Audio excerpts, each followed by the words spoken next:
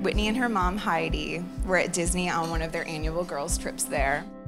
They told Cinderella that Whitney just hadn't met her special person yet. And Cinderella said, You might just want to loosen up your shoelaces a little bit. Whitney met Chris, her Prince Charming, a month later. She called me and she said, Mom, I think I've met the man I'm going to marry. I heard the joy in her voice. I could just tell by the tone in her voice that this wasn't just any date. I take notes of important things in my phone, things that I want to remember. And I entered the following note on June 25th of 2017. Whitney told me about her first date with Chris. And in that moment, I knew it was her last first date.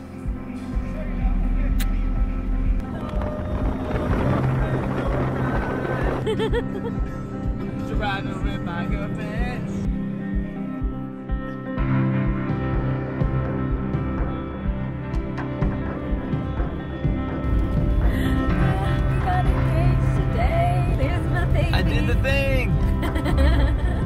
yes. Whitney has been dreaming of this day since she was a little girl. I remember walking into her room, and there she was, all dressed up in her wedding finest. She was probably about five years old. And um, she had frills and pearls and lace.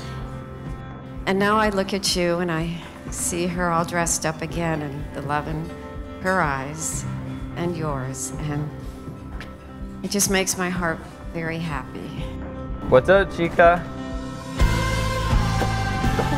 It is Pookie Princess. Mwah. oh my god, you're gorgeous. Hi. Look at you. Big old bow and everything.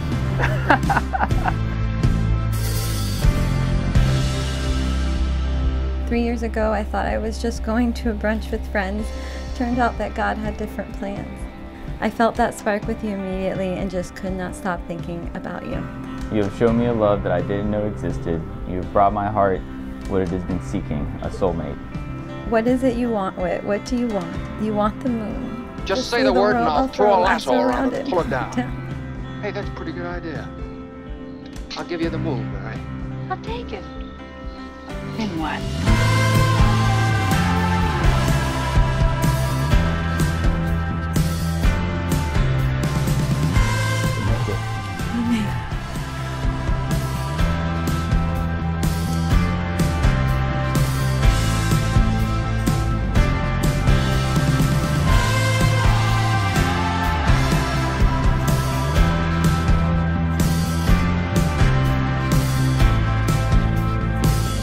Now kiss the bride. Mm. I love you. Okay. okay. I'm waiting. I now present, yes, Whitney and Chris Morales.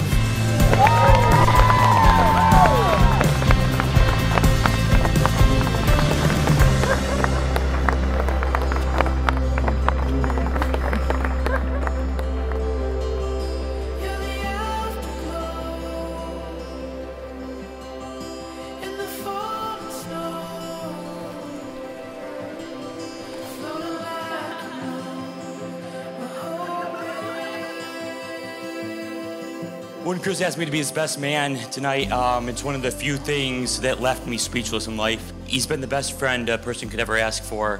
Four years ago, Chris was visiting me in Chicago. And we got off the plane, and right from the start, he was talking about this woman he had just met. And Whitney, he would not stop talking about. He said, You were beautiful, you were fun. And somehow, Whitney, we met a few months later, and you managed to exceed every sky high expectation Chris had set for you.